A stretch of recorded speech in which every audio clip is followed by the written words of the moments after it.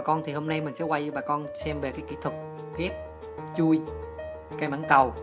Đó là từ cây thực sinh ghép cho cây trồng đã lớn.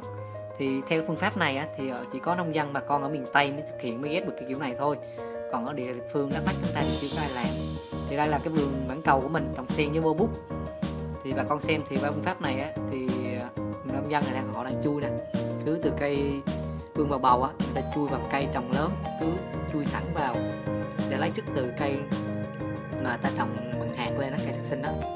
Ghép thẳng vào cái cây mà ta trồng ở ngoài. Ta sẽ nuôi cho cây ngồi ra cành lá bình thường luôn và rất là tốt, phát triển.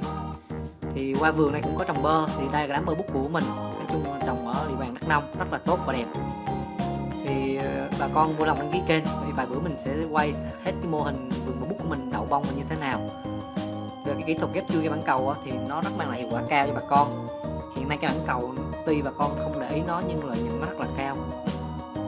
Thì giá của nó dao động từ 5 đến 15 nghìn một ký.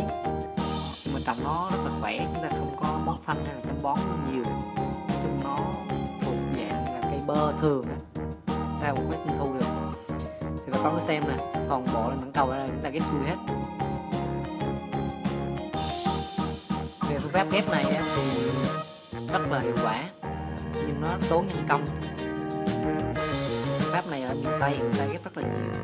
Bà con cứ xem. Thì một lần nữa xin bà con đăng ký kênh vì à, những clip mình quay á, nó tốn thời gian lâu. Nhưng đồng lại thì bà con cứ đăng ký kênh kênh cho mình cứ đăng ký kênh là sẽ tạo nguồn cho mình quay những video thực tế cho bà con xem.